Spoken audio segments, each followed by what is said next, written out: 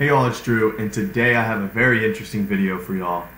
My very first YouTube video was this video right here. It was me predicting the SEC football schedule, every single team, what records they'd have, and I eventually went and did the NFL, the Big 12, and the ACC. So I didn't want to just go off and say, I did that, and that was what I had. I want to actually see how well I did.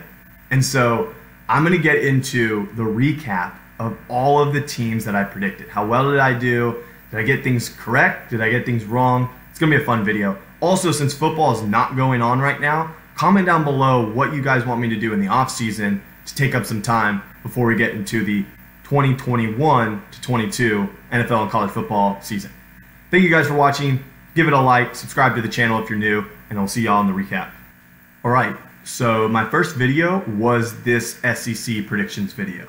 Um, on the top left is where all of the predictions that I had from that video are, and then on the right side will be the ESPN final standings from the season. I wanted to kind of also help you guys out and put some arrows so you guys can see a lot clearer on what I did correct because I know it's not lining up.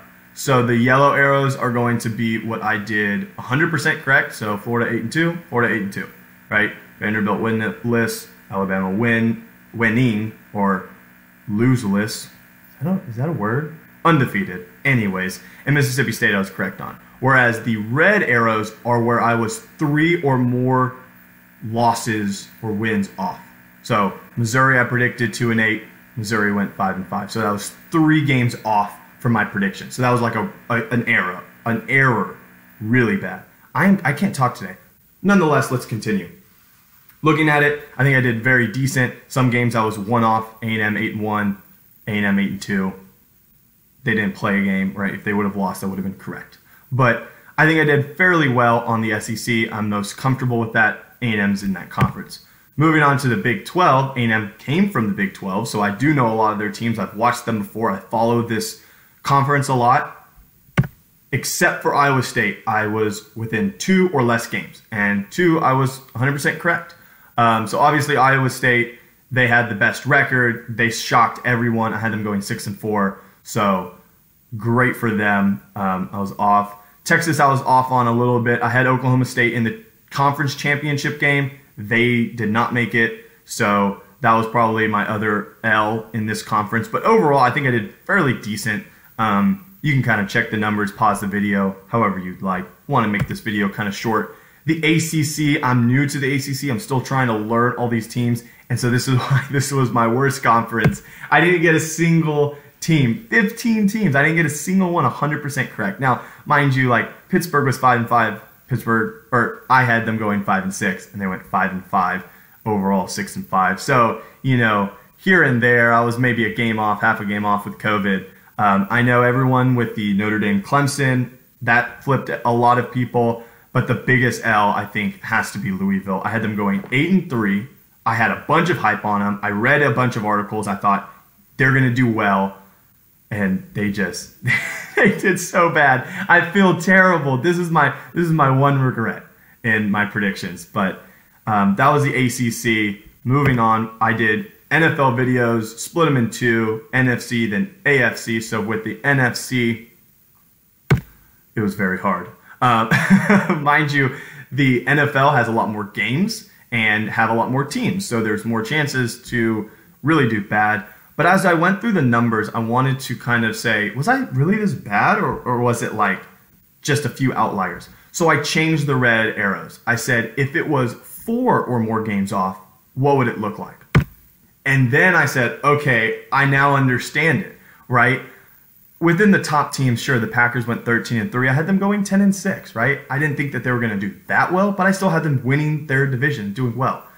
I had all of the teams that were supposed to do well that sucked wrong. Cowboys lost their quarterback, 49ers lost everything. That kind of makes sense. And two wins. So I wasn't I, I wanted to make sure that I didn't feel so bad when in the comments everyone's gonna say, Drew, you were terrible. Why do I even subscribe? And yet you should, because I think I'm a fun person and I'm working on my craft. Moving on to the AFC, I also did very bad. And if you're wondering what this orange arrow is, it was because I predicted the Bengals going 4 and 12 and they went 4 wins, which is technically correct, but with the tie, you know, I just I wasn't going to predict a tie in that. So I was I put it as a yes. I understand it's like a little asterisk. That's why I put it orange. Nonetheless, moving on, same thing. This is three or less wins, and when you take it to four or less wins, I was a lot more accurate. So I wanted to dive deeper into the numbers to prove to you guys that I'm not the worst analyst in the world, and this was my one time. And so out of the 71 teams that I predicted, I was 100% correct on 14% of the times, 10 teams.